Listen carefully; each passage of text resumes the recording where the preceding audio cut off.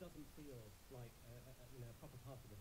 Let's move on to Anne Widdecombe, who probably fancies herself as a dame in real life these days. She's playing Lady in Waiting, um, the sort of job that she did for Michael Howard, I think, at the Home Office a few years back. So, does she fare any better here? Well, yes.